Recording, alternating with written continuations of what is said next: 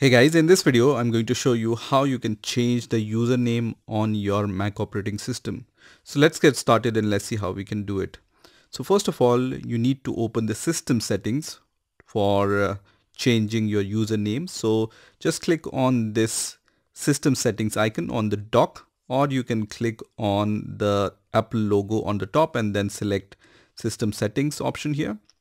Now on the left hand menu, just scroll down where you will see uh, this option which says users and groups. So just select this option. And on the right hand side, you will be able to see the list of all the users and groups. Now, in order to change the username, you need to be an administrator of that account at least, right?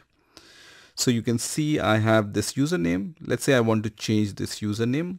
What I need to do is I just need to hover over this uh, section in front of my username and then right click here. Okay.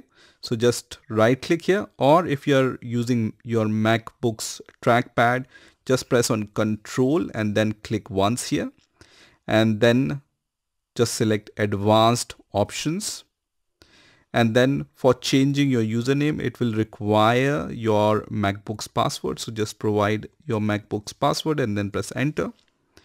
And then here you will be able to see uh, the options. And here you have the option to change your username. So here in front of your full name you can change the username. For example i'm going to just say test and the username is changed. You also have the option to change your login shell. By, by default it's uh, bin zsh but you can change it. Also you have the option to change your home directory.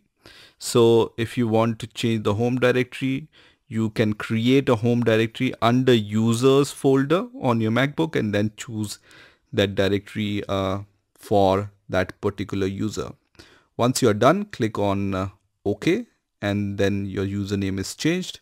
If you want to revert the username just go to uh, the settings once again and then just change it once again right? And then click on ok and the username is changed. So this is how you can change the username on your mac operating system. I hope you enjoyed this video.